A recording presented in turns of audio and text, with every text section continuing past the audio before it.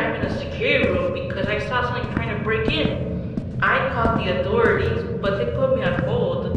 You need to try to avoid whatever that thing was because it looked dangerous. I'll call you back whenever to take my request.